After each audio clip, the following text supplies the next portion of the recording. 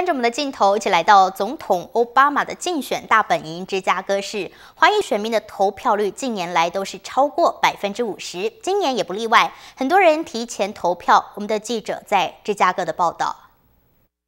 离开奥巴马的住所，记者首先来到芝加哥的中国城，了解华裔选民的心声。奥巴马，因为他接近我们这个平民，期待着就是他就坚强下去。对我们这个福利啊，啊，能够精神照顾。当然这几年呢，这民主党啊，呃，照顾中下阶级比较好。定了新房屋办嘛。这里就是芝加哥中国城乐怡居老人大厦投票站。从今天一大早开始呢，就有华人来这里陆陆续续的投票。据当地的华人组织华资处介绍，自两千零八年起，这里华人的投票率就超过百分之五十。在记者接触的几位华人选民当中，他们都表示会支持奥巴马。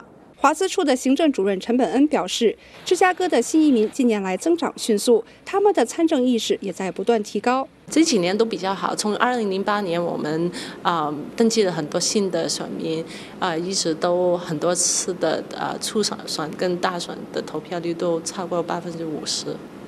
芝加哥市是总统奥巴马的竞选大本营，支持者众多。提前投票时期，选民们就很踊跃。啊，今天早上呢，我们的投票站从那个呃六点，早上的六点就开始了，已经很忙了，到现在也是很忙，就是有很多选民出来投票。芝加哥市今年注册选民达一百三十六万人，虽然比两千零八年总统大选时人数下降约百分之十。但是从提前投票和今天的投票形式来看，出来投票的人数将会与两千零八年持平，甚至超过。新唐人记者安心、林冲在芝加哥为您报道。